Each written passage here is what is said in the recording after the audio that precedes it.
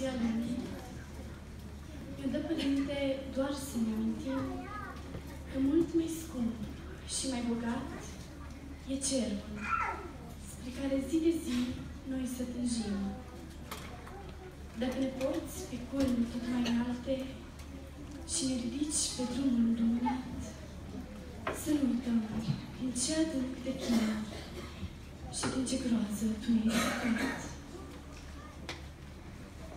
făcut. Dacă la vorba noastră, prin credință, se înfricoșează demoni în abis, Tu fă și mai mare bucuria, când cartea vieții numele ne scris. Ne dai, stăpânitorule Părinte, atât de mult cât mult putem avea.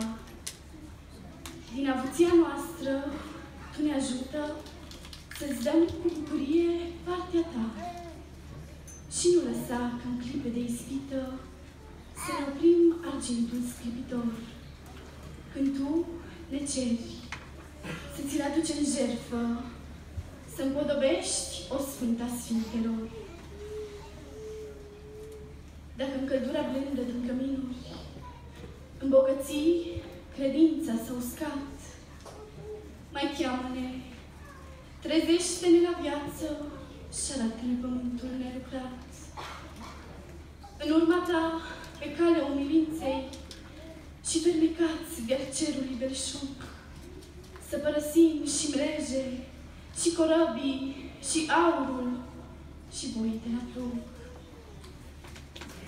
Iar dacă faci ca în tristerea mare, cu picături de jale să gustăm, să fie doar ca niciodată în viață, calvarul ce urcat să nu uităm.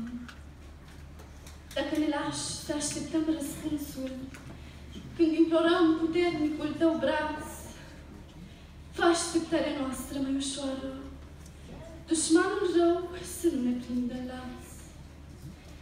Dacă ne lași pribești din poartă în poartă și ploile disprețului ne bat, fă să înțelegem dragostea de tată, ce nici o vrabie flămândă n-a lăsat. Dacă ne arzi ca aur cuptoare sau ne sfărâm pe nicovala ta, fă să știm că ne iubești, Părinte, și banul rău atunci să nu ne ia. Căci ne-ai chemat la lupta cea mai mare, la cel mai aprig și încleștat asalt și ne-ai ales să-ți răspândim cuvântul pe drumul cel mai greu și mai înalt.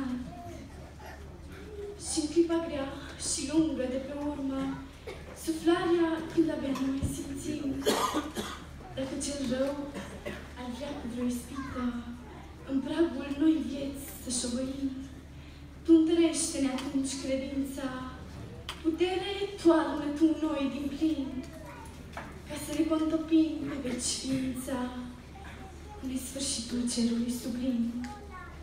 Și lasă ochii liniștiți să închidă obloanele pe geamul tulburat, ca în glorie o poartă să-și deschidă palatele ce aici doar ne-am visat.